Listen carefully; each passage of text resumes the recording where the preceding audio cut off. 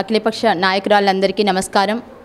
ఈరోజు ఒక్క TDP party తరఫునే కాకుండా ప్రతి పార్టీ నుంచి వచ్చి మహిళలు మేము కూడా మహిళలపైన జరుగుతున్న అరాచకాలని ఖండిస్తామని చెప్పి మీరంతా ముందుకు వచ్చినందుకు చాలా సంతోషంగా ఉంది.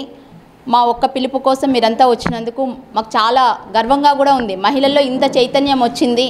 అయినా కూడా ఈ జగన్మోహన్ రెడ్డి ప్రభుత్వంలో కొంచెం కూడా మార్పు అనేది రాలేదు.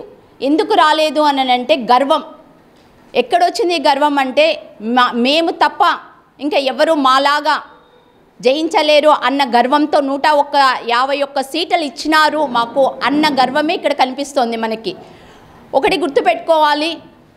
ఎవరైనా సరే ఈరోజు ఒక మహిళ మీదకి వచ్చినారు అని అంటే రేపు పొద్దున మన మీదకి కూడా వస్తారు అని చెప్పి అక్కడ పక్కన ఉన్న వాళ్ళు ఖండిస్తే సరిపోతుంది.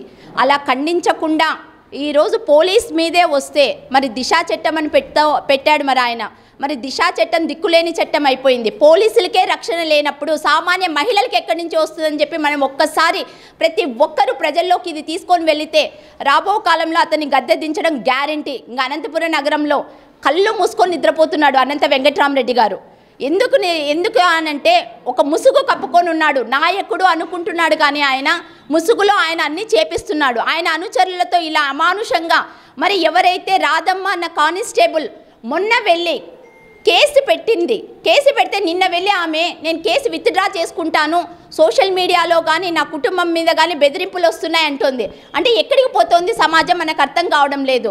ఒక పోలీసుకే రక్షణ లేకుండా వాళ్ళ అధికారులు కూడా ఆమెకు సపోర్ట్ చేయడం లేదంటే ఎక్కడికి పోతుంది? దయచేసి మీరందరూ కూడా ఇది ఆలోచించి ఒక్కసారి మనం ఆ మహిళకే కాదు తన వెంట మనం ఉన్నాము అంటే ప్రతి ఒక్క మహిళ మన వెంట వస్తుంది. ఇది ఇలానే కొనసాగితే రేపొద్దున అనంతపురం నగరం కూడా ఒక రౌడీగా కడప ఎలా అయితే కడపలో కానీ తాడిపత్రిలో కానీ అప్పట్లో హింసలు జరిగినాయో అట్లా రాదు రాదు అనడానికి ఇది ఒక నిదర్శనం. కంపల్సరిగా మనం అందరూ కలుసుకొని దీన్ని ఖండించాల్సిందిగా మీ అందరికీ చేతులు జోడించి చెప్తున్నానండి. Thank you.